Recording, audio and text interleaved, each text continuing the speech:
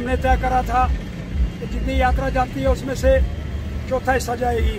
गोविंदा सौ तीस लोग यात्रा पर जा रहे हैं। गाड़ियों में, बसों में, छोटी गाड़ियों में और चालीसवें वर्ष में यात्रा प्रवेश कर चुकी है। डोगरे दी आंश पगड़ी, डोगरे दी शान पगड़ी।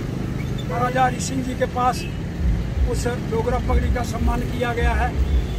और पैदल यात्रा, बड़े लोग पैदल लेट करके जा रहे हैं।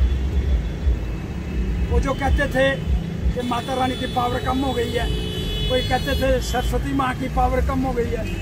कोई पावर कम नहीं हुई, पावर बढ़ गई है और इतनी अधिक बढ़ गई है कि मनोकामना जो मांगो वही पूर्ण करती है। इसलिए अपू पप्पू पता नहीं कौन है, मुझे नहीं मालूम। लेकिन माता के लिए इस तरह के शब्दों का उच्चारण कदापि बर्दाश्त नहीं होगा और डोगरों की पगड़ी की शान और आन बान हमेशा रहेगी। माफ़ी मांगो, अभी भी समय है।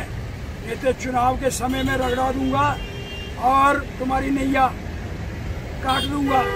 इसलिए माँ भक्ति के चरणों के अंदर बैठ करके ये प्रार्थना कृपा कर सबको सदमुक्ति दे और पप्पू को भी दे और ये जो पाकिस्तान है इसको नस्ते न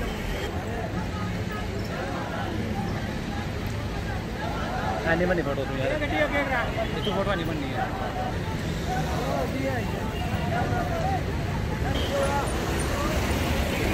बननी है बोलो क्या माता जी